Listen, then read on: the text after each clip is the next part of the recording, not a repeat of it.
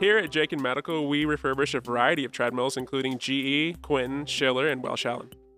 Prior to shipping, we perform preventative maintenance and verify that each unit is calibrated, cycled, and tested extensively. On every treadmill, we replace the walking board, we replace the walking belt, we refinish the walking deck, and we apply a wax to help prevent the belt from sticking to the board so that the patient can walk safely on it. We replace the bearings in each roller, and we also replace the bearings in the motor. We apply a liberal amount of wax to the elevation shaft to prevent it from sticking and to prevent the treadmill from freezing. Each treadmill system will be painted and have a refinished handrail system to look and feel like a brand new unit. If necessary, we replace all electrical systems, including the elevation system and the motor.